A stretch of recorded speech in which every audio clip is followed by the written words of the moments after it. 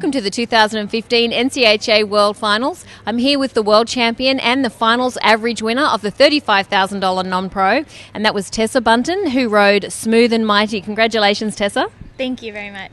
So tell us about your two runs. You got a 218 and a 220. Describe uh, the first run. Um, the first run, I was really nervous, nervous to be here. I've never been in so many lights, and you know, it was a cool situation. It's Fort Worth finals, you know. Um, it was a little nerve wracking. Today was just fun. I was like, this is my last run of the year. I love this little horse. She's been good all year. I haven't shown anything but her, and um, so I think the two of us just kind of walked in there, and we were like, this is gonna be good. It's gonna be fun. so do you feel like you you, you dominated? Um, well, uh, we yeah, you could say that. It was yeah. We just went out there and just did our thing. It was fun. So describe the whole year of um, chasing this title. What it's been like for you. Uh, well, I really I just started showing in the 35 this year because it was a class that I could lope my husband's horses and then come show. And then when I looked at the standings in June, I was still leading it. And so he said, "Well, hey, you know, you're mare six. Do you want to show age events this fall, or do you want to haul for the world?" And I said, "Well, I think I want to haul. It looks like fun, so let's do it." And I really was the only one um, just hauling in our barn. We had a couple more people come along and haul with us, but I just decided I'm going to do it. I'm I'm on top. Why not? So this is the first year you hauled. Uh, this is my first year showing. Really, yeah. That's a fantastic result. Yeah. Thank you. Wow, something's going right. Uh, you know, to, to put all that together um, and come out a world champion. Yeah. How does it feel? Uh, it's in, it it it's I don't know if it still hit me or not yet. When I walked out of there, I just I was just like, wow, the year's over.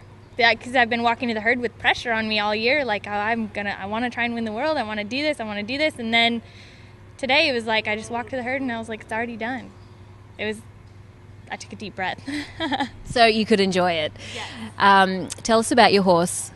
Um, she is a six year old little mare that is kind of special to us because she is one of the first horses that Monty trained and showed when we went out on our own.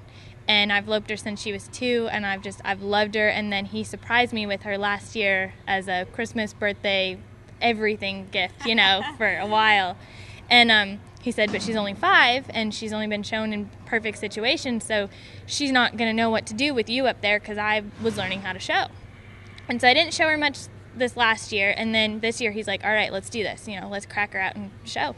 And she just, from the very beginning till now, I haven't shown any other horse all year, and I've run her all over the place, and she has never stopped trying her best for me. I mean, it's pretty unreal. And stayed sound. Very sound. I've hauled her all over. So, um, would you do it again? What's what's on the cards for next year? I would definitely haul again. It was the overall experience, you know, it was early mornings, crazy hours, long drives, but the people I've met and the places I've gotten to go and the situations I've been in, it's just I would definitely do it again. And next year I I think I'd like to try some aged events. Let's tone it down, a little less traveling. So um, maybe next year we'll be interviewing you for winning the non-pro as your first year competing, just like you did this year.